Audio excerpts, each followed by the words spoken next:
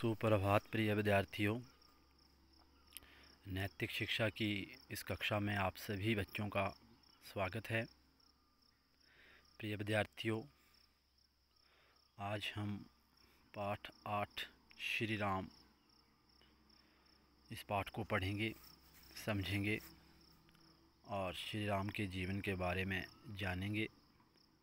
तो आप सभी बच्चे इस पाठ को ध्यान से सुने, पढ़ें।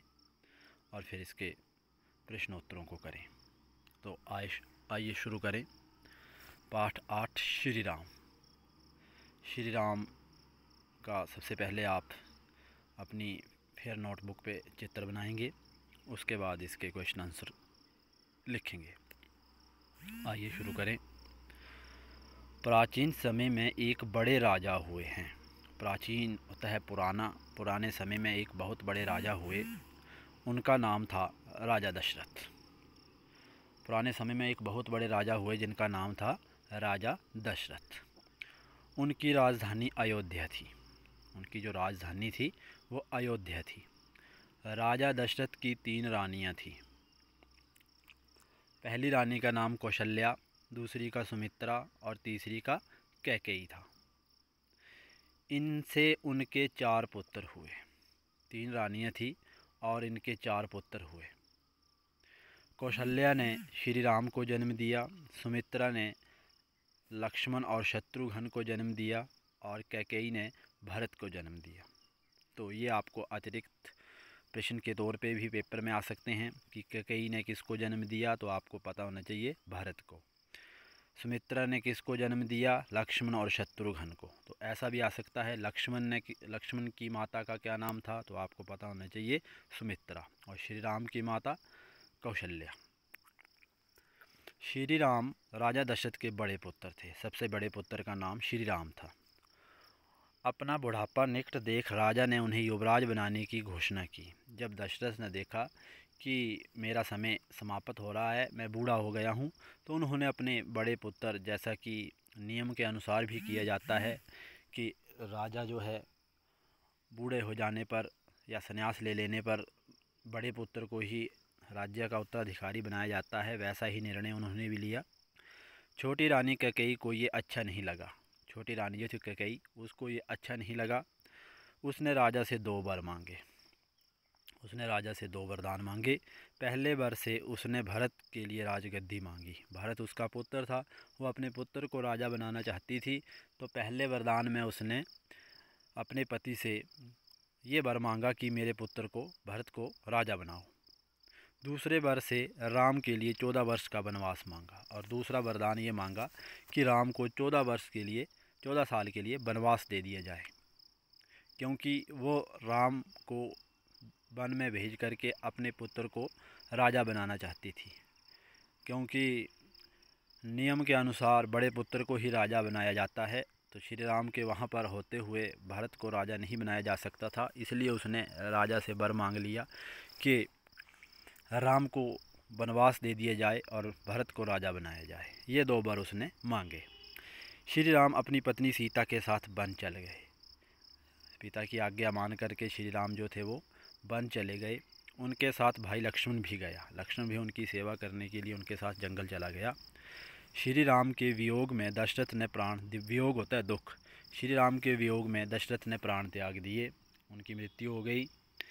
परंतु भरत ने श्री राम को वन से ले आने का प्रयत्न किया। लेकिन भरत नहीं चाहता था कि श्री राम वन में रहें और मैं राजा बनूं। वो राम को ही राजा बनाना चाहते थे। तो वो राम को लेने के लिए जंगल में गए, वन में गए।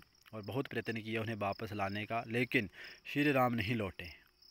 वो अपने पिता की आज्ञा को पूरा करने के लिए, वनवास के लिए वन में चले गए और वहाँ से नहीं लौटे। वे पिता की आज्ञा का पालन करने के लिए वन में ही रहे। वन में लंका के राजा रावण ने सीता का हरण कर लिया। रावण ने सीता को हर लिया। श्री राम ने हनुमान, सुग्रीव तथा सुग्रीव की वानर सेना की सहायता से रावण को मार दिया। उन्होंने सीता को खोजा और उसके बाद हनुमान की सेना के साथ, सुग्रीव की सेना के साथ रावण का वध किया। सीता को लेकर वे लक्ष्मण समेत अयोध्या वापस आए और राज्य संभाला। जब वनवास ख़त्म हो गया, उसके बाद वो वापस अयोध्या आ गए और अपना राज्य संभाला। श्री राम का राज्य आदर्श राज्य था अच्छा राज्य था, उसमें सारी प्रजा सुखी थी हनुमान श्री राम का महान सेवक माना जाता है। इटर्नल क्वेश्चन आ जा आ सकता है आपको कि श्री राम का महान सेवक किसे माना जाता है, लक्ष्मण या हनुमान? तो हनुमान को। श्री राम का चरित्र रामायण में है। पूरा उन, उनकी, जीवन की गाथा जो वो रामायण में दी गई है। रामायण की रचना, जो रामायण नाम का ग्रंथ है, वो किसने लिखा था? महर्षि वाल्मीकि ने लिखा था। महर्षि वाल्मीकि में, ने रामायण का ग्रंथ लिखा था।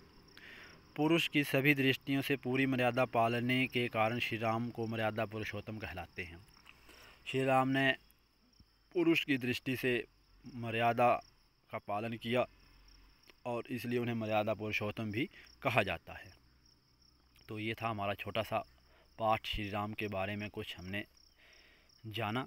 तो आइए इसके प्रश्नोत्तरों की ओर चलते हैं। पहला प्रश्न है, श्री राम के पिता का क्या नाम था? तो हमने पाठ में पढ़ा, श्री राम के पिता का नाम राजा दशरथ था। दूसरा प्रश्न है, श्री राम की पत्नी का क्या नाम था? तो श्री राम की पत्नी का नाम आप सभी जानते हैं, सीता जी था।